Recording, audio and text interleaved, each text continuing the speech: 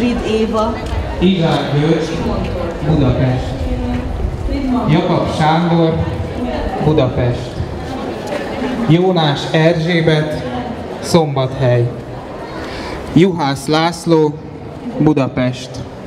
Ha maradt volna bárki, aki a 21. századra sem veszítette el a hitét, annak a holokausztal is farkas szemet kell tudnia nézni. Hallottuk, halljuk mindenhonnan, a személyes, gondviselő Isten eszméje, a 2000 fős gázkamrák univerzumában egyszer s mindenkorra vállalhatatlanná lett. Számtalanszor nekem is szegezték a Saul fia közönség találkozóin a kérdést. A látottak után ugyan mit keres a kipa a fejemen? Erre általában a következő történettel szoktam válaszolni. Jossi, a szappanfőző, egy szép nap azzal rontott be a rabbihoz, hogy hosszú évek töprengése után arra a végkövetkeztetésre jutott, hogy Isten vagy nincs, vagy erőtlen, vagy, ami a legrosszabb, van is, mindenható is, csak épp nem érdekeljük őt. Gyere, mutatok neked valamit. Fogta Josszit karón a rabbi, és kisétált vele az utcára, ahol az eső utáni sárban épp gyerekek birkóztak. Mielőtt elfelejtem, szólt a rabbi, mint egy mellékesen, a szappan, amit főzöl, sajnos nem vált be.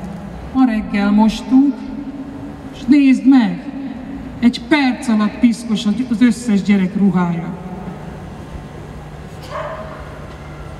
A szappan működik, de természetesen csak akkor, amikor épp használják. Amikor nem használják, akkor már nem működik. Amikor nem használják, akkor már nem működik. Rabbi elmosolyodott. Pontosan így van ez a jó Isten is. Azért jöttem el, mert holokauszt túlélő vagyok, és kötelességemnek érzek, hogy minden évben eljöjjek.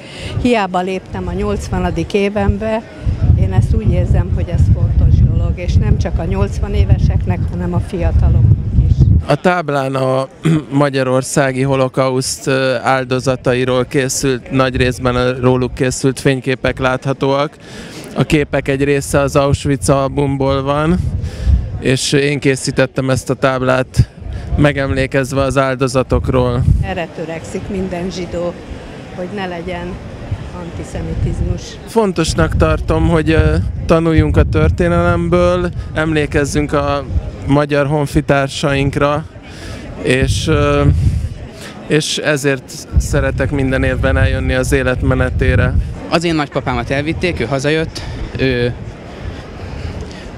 a pár, pár magyar ember között van, akik még akik még élnek. Ő a mai napig, hogyha ha, ha visszagondol arra, hogy mi történt, sírkönyvbe lábad a szeme.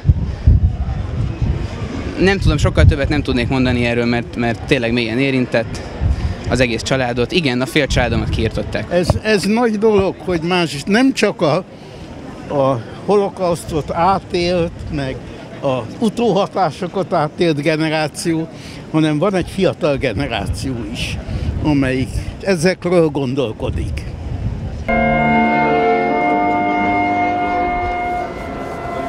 A probléma az volt az életmenetével, hogy csak az öregek voltak kint gyakorlatilag, akik túlélték ezt. Most már ők nem nagyon vannak, úgyhogy nekünk a kötelességünk az ő felmenőiknek, hogy itt legyünk és megmutassuk, hogy igenis itt vagyunk, és emlékezünk, és, és nem hagyjuk azt, hogy elnyomjanak minket semmilyen módon. A zsidó-keresztény párbeszéd intenzitása soha nem volt ilyen erőteljes, mint napjainkban.